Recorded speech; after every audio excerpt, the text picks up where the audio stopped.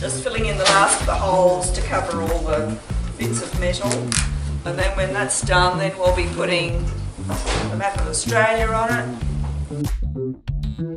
So what I'm doing here with this camera is time-lapse photographing our um, weavers, Mrs. Lanny, working on some of the strips that will eventually join the two pieces of our installation together on the fence. Look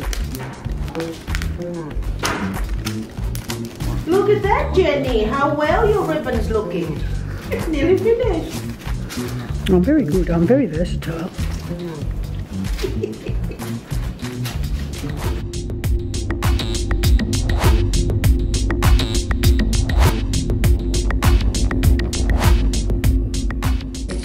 I'm just testing.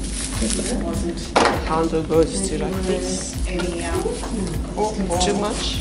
Too long? Too long, so maybe you want to cut it and press that and you're going to split. It is an eye. It's an eye for an eye. Where's the other eye? Not exactly the same.